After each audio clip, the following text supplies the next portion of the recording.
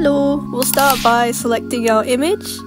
Go ahead and press OK. Then we'll drag that down into our project timeline. And the first method we're going to do here is just a automated square which is going to basically use mask to crop out what we don't want.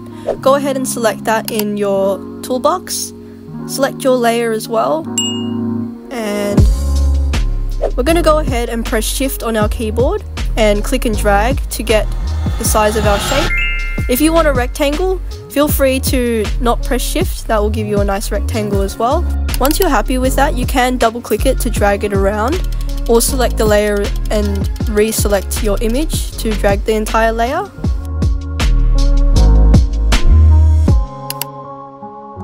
The next method we're going to do is changing the actual composition height and width. So go over to composition, composition settings.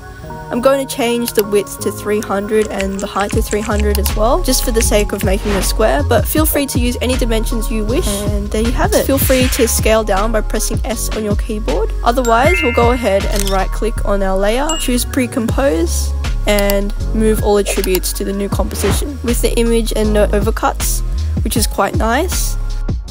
The third and final method that we're going to do is a freehand masking technique to crop out a specific image or object on your layer. So I'll go ahead and show you how to make a square.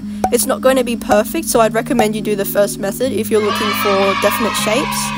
Otherwise, I'll go ahead and show you this. So we'll do the head. We won't click and drag either, that'll give us nice sharp points. As you can see, you can select each individual point and move it around as you wish. So I will show you another way. Press M on the keyboard and delete that mask.